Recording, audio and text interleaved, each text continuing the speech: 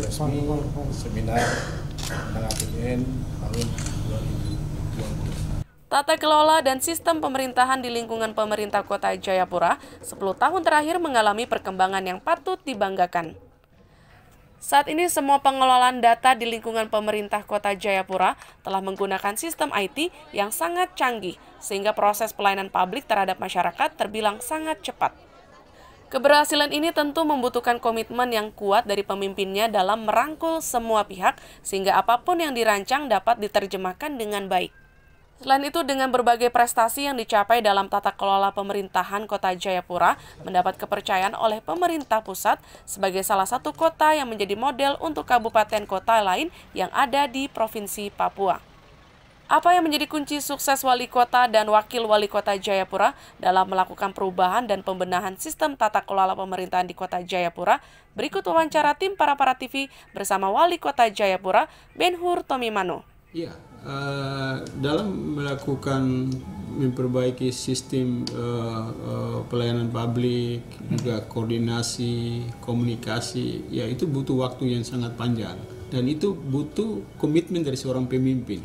Kalau pemimpin dia berkomitmen, pasti bawahannya tuh akan mengikuti apa yang diinginkan oleh pemimpin untuk membuat perubahan, membuat inovasi. Itu satu, satu tahun itu sudah bisa ditindaklanjuti oleh masing-masing OPD dan juga seluruh ASN kota. Sehingga banyak-banyak prestasi yang kita raih. Kita laporan pemerintahan tertinggi di Papua itu kota Jayapura karena itu kita memberikan motivasi kita memberikan kepercayaan. Yang yang saya tanam kepada mereka adalah tiga tiga K adalah komunikasi. Ini penting.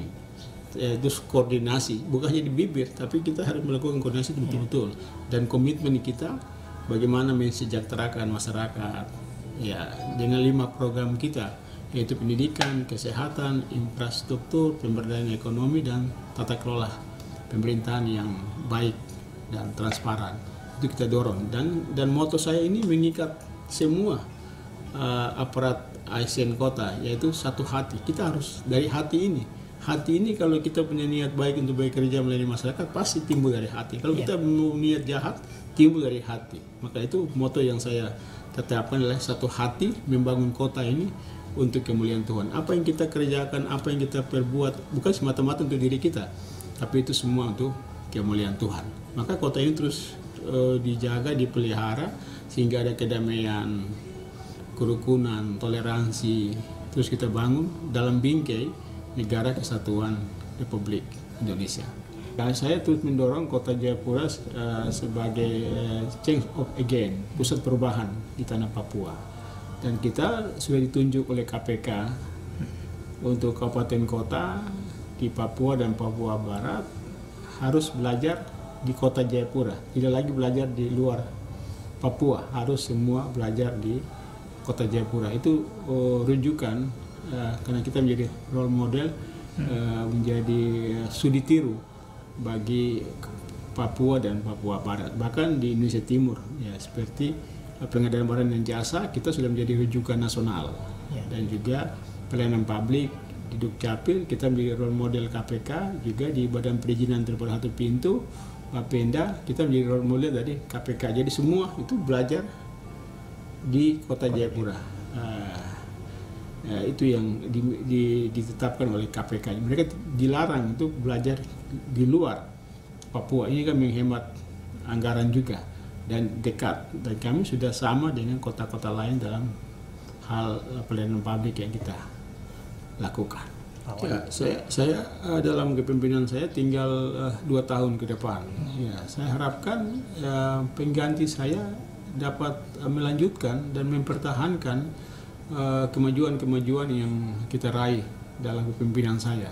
Ya. Dan ini jangan sampai uh, turun uh, apa yang saya telah lakukan meletakkan dasar yang bagus untuk pemerintah kota ini harus lebih ditingkatkan dimajukan, di, dijaga dan dipelihara ke depan supaya kita tren kita ini semakin naik.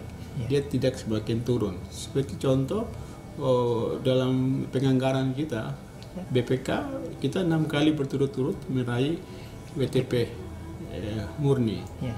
Juga di Adipura kita sudah enam kali dan kita sebagai role model ini KPK ini kita harus pertahankan dan saya harapkan pengganti saya nanti siapa pun dia dia bisa melanjutkan apa yang saya sudah tata dengan baik kota ini ke depan. Ya, yang saya terapkan di sini adalah punishment yang reward. Ya, seperti di eh, pelayanan publik, kependudukan, perizinan, pendapatan. Kalau itu mereka sekarang pendapatan kita 250 miliar, itu sudah mencapai visi dan misi saya. Dan saya menyampaikan terima kasih. Ya, visi dan misi saya tahun kedua itu sudah mencapai 250. Dan itu tercapai. Bahkan sekarang sudah surplus menjadi 9 miliar. Ini satu prestasi yang sangat luar biasa. Maka itu saya memberikan eh, reward punishment untuk mereka sehingga mereka memacu diri.